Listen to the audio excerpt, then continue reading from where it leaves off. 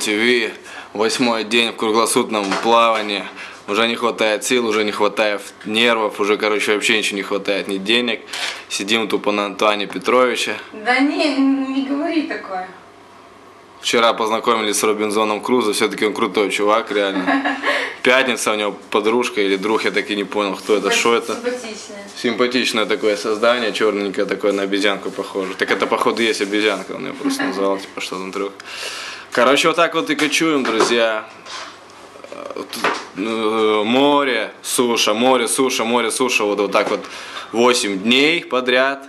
Уже, конечно, думали, что по-другому совершенно все будет происходить, но жизнь такая штука, не выбираешь, еще непонятно, когда мы вернемся домой. Честно, уже хочется домой реально. Вот, попасть домой на украинскую землю. Вот. Вот эту девочку, вот, которая вот это красится, там что-то марафетного. Ее просто только вчера подсадили, она с вертолета со- сошла, и поэтому она не понимает, как это было. Семь дней вот таких туф-туф кочевых. Но ничего, пройдет время, спросим.